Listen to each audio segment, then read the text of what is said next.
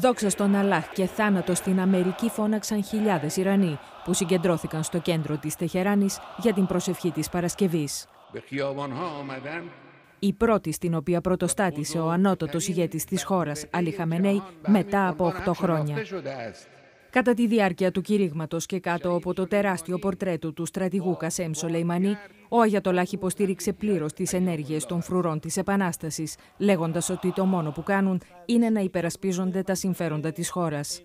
Δύο μόλις μέρες πριν, ο πρόεδρος Ρουχανί και ο υπουργός εξωτερικών Ζαρίφ δήλωσαν ότι δεν είχαν ενημερωθεί εγκαίρως για την κατάρριψη του Ουκρανικού Boeing, κατά την οποία σκοτώθηκαν 176 άνθρωποι και ζήτησαν την άμεση διεξαγωγή έρευνας σε βάθος για την απόδοση ευθυνών. Αυτοί οι Αμερικανοί κλόουν που μέσω των ψεμάτων και του απόλυτου κακού λένε ότι συμπαραστέκονται στους Ιρανούς πρέπει να δουν ποιος είναι ο λαός του Ιράν. Η Ουάσιγκτον απάντησε διαστόματος του ειδικού απεσταλμένου της για τα θέματα του Ιράν, ο οποίος ανακοίνωσε την επιβολή κυρώσεων εναντίον ενός ακόμη στρατηγού των φρουρών της Επανάστασης, τον οποίο θεωρεί υπεύθυνο για τη δολοφονία 148 Ιρανών τον περασμένο Νοέμβριο.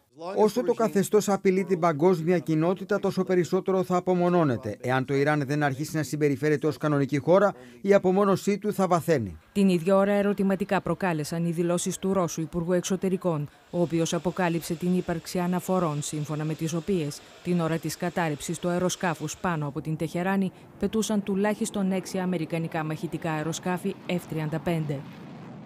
Ο Σεργέη Λαυρόφ είπε ότι οι πληροφορίες δεν έχουν επιβεβαιωθεί, ενώ χαρακτήρισε την κατάρριψη του Ουκρανικού Boeing από πύραυλο που εκτοξεύθηκε από το ρωσικής κατασκευής αντιαεροπορικό σύστημα Τόρμι 1 ως ανθρώπινο λάθος.